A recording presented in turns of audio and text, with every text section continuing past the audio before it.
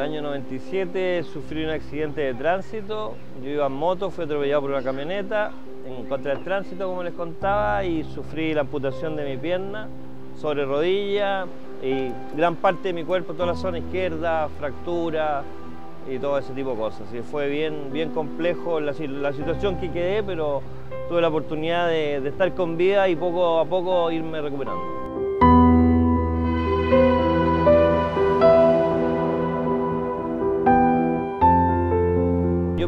Deportista, fui atleta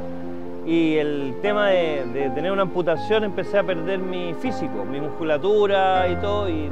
se dio la oportunidad de, entrar en un hotel a un tema de una rehabilitación integral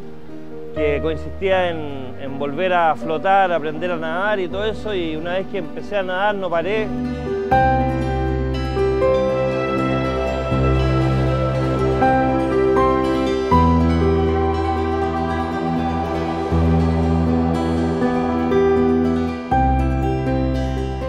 Yo tengo síndrome de Asperger y una dificultad también en la parte, bueno, en la parte cognitiva, en la parte de la comprensión también. Eh, igual eh, he trabajado mucho para también para, para mejorar un poco mi parte de la comunicación. Que más me ayudó aquí en la parte del garrobo, me ha ayudado, o sea, eh, a la parte de, expresarme porque es una nueva vida acá, o sea, yo era de Santiago, entonces yo me vine a ir acá y en verdad es un lugar maravilloso y me ayudó como a crecer como persona, a desarrollarme intelectualmente. Eh, es una, primera vez en la vida porque yo toda mi vida lo viví en la capital, así que aquí ha sido una nueva experiencia de vida.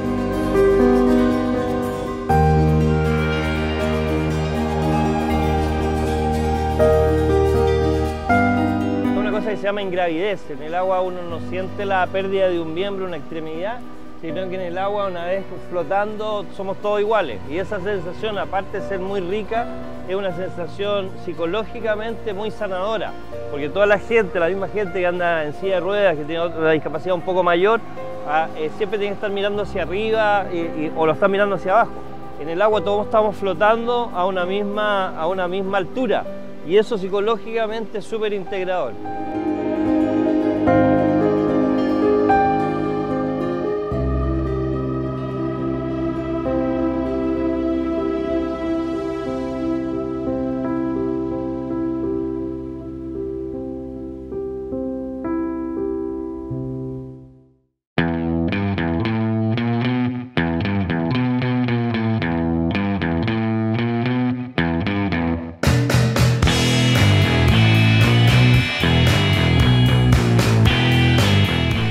Ya eh, estuvimos acá instaurados y empezando a funcionar como escuela, se nos acercaron muchos papás que vieron el ambiente, eh, la dinámica que, se ve acá a diario en la escuela y nos eh, solicitaron si les podíamos hacer clases a chicos que bueno, tenían diferentes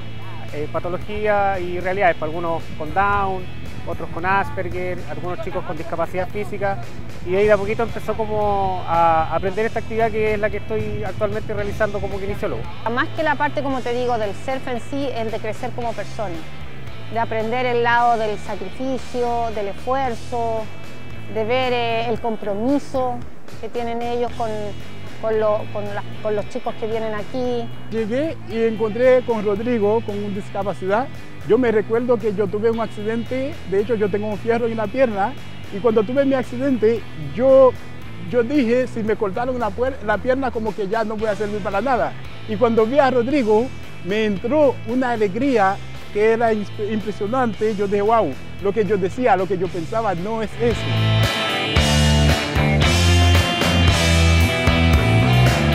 inculcarle y que ellos aprendan que no se concentren en lo que no pueden hacer, que en este caso para los demás es la discapacidad, sino que al contrario, lo que pueden hacer, tienen un objetivo en pos de una meta, que es por ejemplo poder remar, poder mantenerse en la tabla, poder tomar una ola, así que eh, su experiencia en el transcurso de la práctica les permite y eso es súper interesante, emocionalmente muy positivo, personas que en algún momento llegan súper como cabizbajo, un poco deprimidos después de, la clase, eh, se les ve un semblante de verdad eh, súper contento y, y agradecidos por la clase.